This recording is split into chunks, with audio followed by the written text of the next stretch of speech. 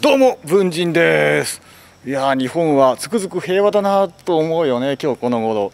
ここはとある場所のとある学校のとある外側なんだけど見てくださいこれ。これは全部さつまいも。向こうの方までさつまいもがあります。そうさつまいも。でなんで日本が平和かなと思ったのはあれなんですよ。あのこうやってもうここのほとんど人通りのないこういう通りにこうやって堂々とさつまいもが植わってるってことはねえこれ普通だったら日本じゃなかったら多分ねえ他の国だったらこうさつまいもいつの間にか全部根こそぎ取られてるよみたいな感じになるんじゃないかなと思うけどでもこうやっておそらくこれ毎年毎年こうやってさつまいもをこうやってこう普通に人がこうね